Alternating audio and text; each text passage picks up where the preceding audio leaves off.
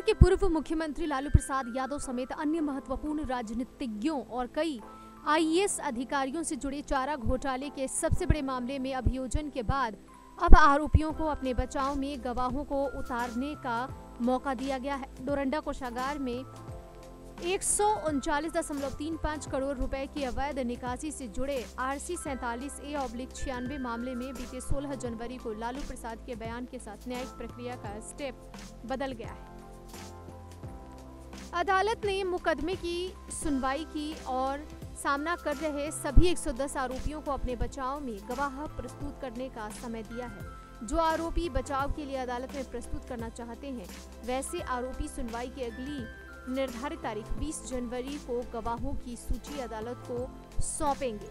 मिली जानकारी के अनुसार लालू प्रसाद, चारा घोटाले के अन्य चार मामलों की तरह इस मामले में भी अपने बचाव में गवाहों को अदालत में प्रस्तुत कर सकते हैं। ये बड़ा मामला सामने आया है इस वक्त और ये कयास लगाए जा रहे हैं कि ऐसा हो सकता है। सीबीआई ने चारा घोटाले के पाँच मामलों में लालू प्रसाद को आरोपी बनाया था। चार मामलों में फैसला आ चुका है। लालू प्रसाद चारा घोटाले के चार मामलों में अपने बचाव में गवाहों को अदालत में उतार चुके हैं।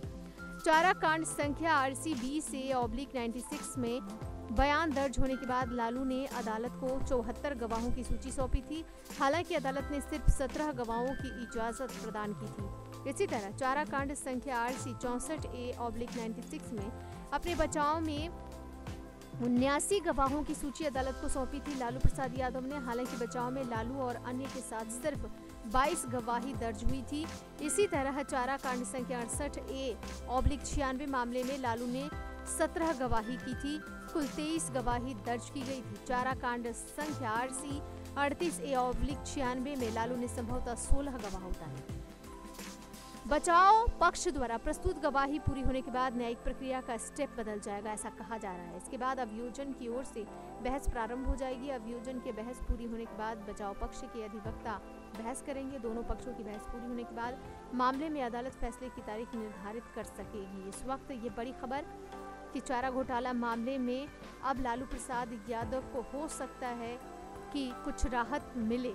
आपको क्या लगता है कि बचाव पक्ष को उतारने के बाद लालू प्रसाद यादव की मुश्किलें कम होंगी, इस पर दीजिए अपनी प्रतिक्रिया। नेक्स्ट नाइन न्यूज़ के लिए Shashi Priya Singh. Next nine news Bhojpuriya के सब्सक्राइब करें। और लेटेस्ट अपडेट खातिर बेल के आइकन वाला बटन दबाएँ।